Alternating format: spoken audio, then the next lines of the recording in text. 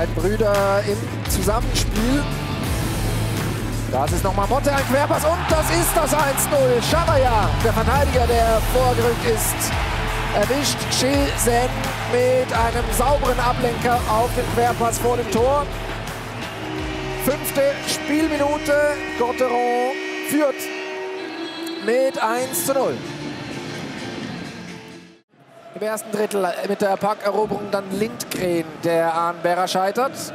Das lässt sich nicht so schlecht an für die Davose. Guter Pass vors Tor und dann lenkt ein Freiburger, ich glaube Jim Slater ist es, diesen Versuch ins Netz ab. Keine Chance für Reto Berra. Bei Pack wird wahrscheinlich dann Berto Lindgren, der Pack, das Tor, wird Berto Lindgren zugesprochen werden. Hischer vor dem Tor Frener und Meier. Das ist.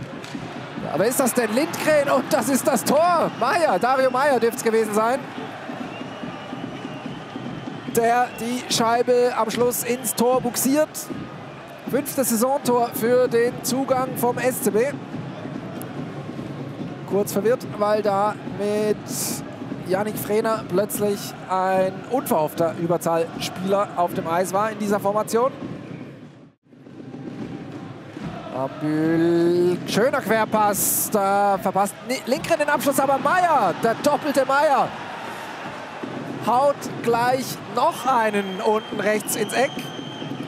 30. Spielminute, Dario Meier, zweites Tor des Abends.